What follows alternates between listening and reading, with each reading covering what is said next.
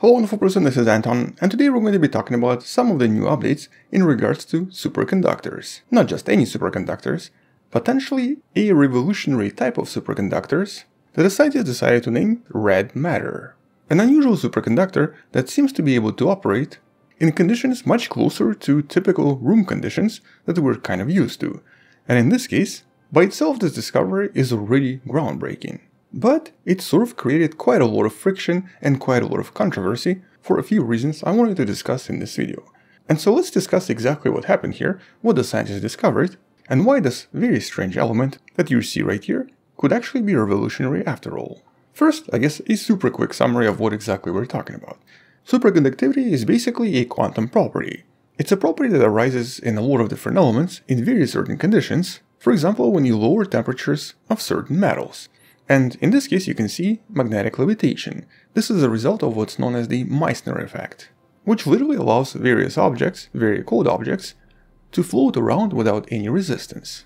But the more intriguing property of superconductivity is the fact that it conducts electricity without any resistance which would actually allow for extremely efficient technology, basically helping us reach a completely new state of industrial revolution.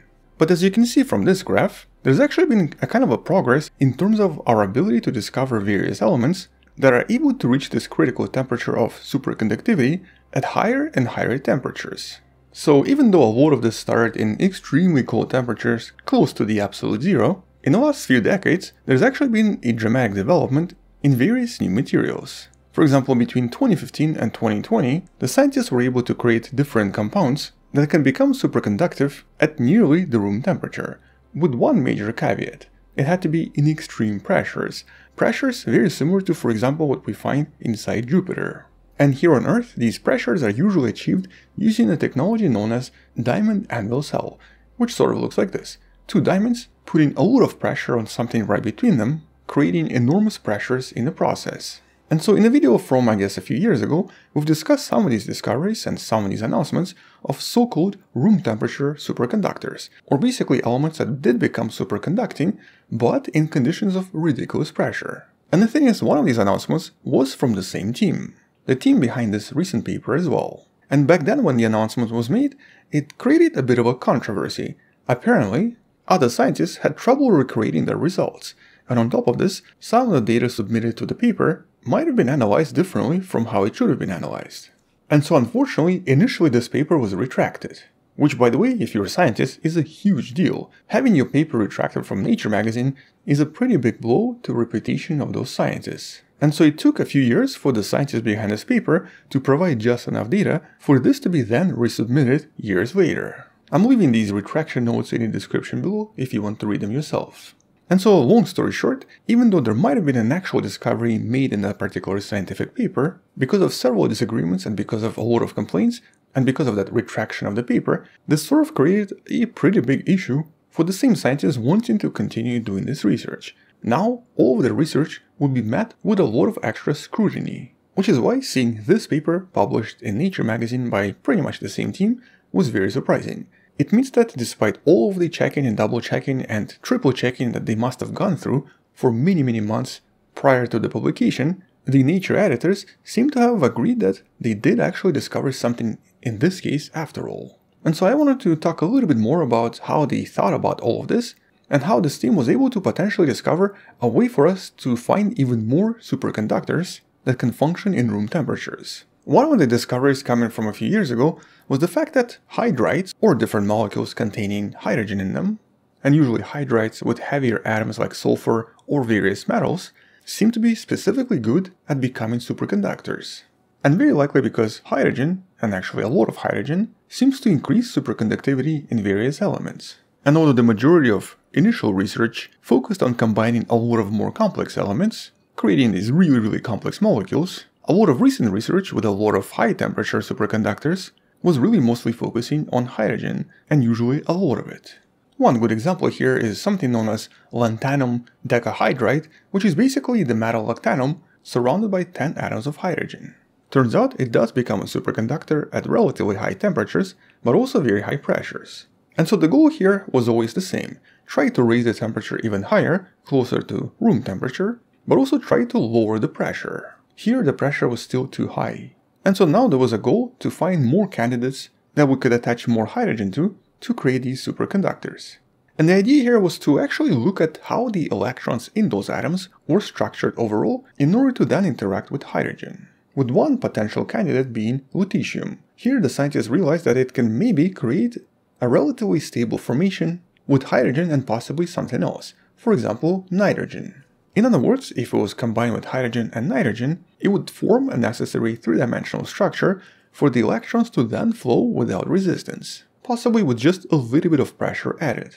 And so in order to produce this, they created a relatively thin layer of lutetium covered in 99% hydrogen and about 1% nitrogen, cooking all of this for a few days in 200 degrees Celsius. The overall structure resembled something like this. This was then inserted into the diamond anvil cell, but at pretty much room temperatures, 21 degrees Celsius.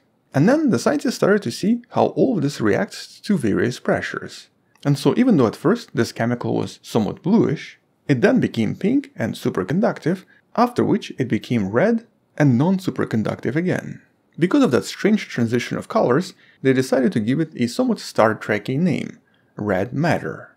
Although as you can see from this graph, it only becomes superconductive at room temperature at a very specific pressure. And also the pressure itself is not really that low, it's about 1 gigapascal or nearly 10,000 atmospheric pressures. So definitely still higher than what we expect from a regular room, but dramatically lower than previous experiments and dramatically lower than a lot of other conditions used in a lot of other manufacturing. But the fact that they provided so much data that definitively showed that electrons in this case no longer generate resistance most likely suggests that they did make a groundbreaking discovery. But I guess more importantly, they now have a pretty solid understanding of what can potentially turn things superconductive at room temperatures, and how even more elements can be discovered which may require even less pressure. At some point, the ultimate goal is of course a superconductor that works in room temperature and of course room pressure. Based on this graph, it looks like we're still pretty far from that, but this unusual new chemical, with these very specific properties and color changes, is definitely an interesting discovery. And so despite the initial controversial result from their previous paper, a lot of scientists are now pretty confident that Nature editors and various reviewers very likely did a very thorough analysis this time, making sure that this paper is as legit as it claims. In this case, the scientists behind this paper even mentioned that they basically gave them every possible piece of data they had and everything was provided without any questions. So I don't think there's any reason to doubt that anything in the paper is illegitimate. But in terms of the actual practicality of this research, well, there are definitely already patents planned for this, and there's a big chance a lot of this is going to result in a lot of money made for someone, but our daily lives are unlikely to change just yet. All of this still requires extremely expensive laboratory equipment, and obviously very high pressure. So don't expect any super batteries that can run for days and even weeks, or any other improvements in our energy grid just yet. But these are important first steps in helping us improve the technology later on. And basically, another dot on this graph that takes us just a little bit closer to the ultimate superconductor.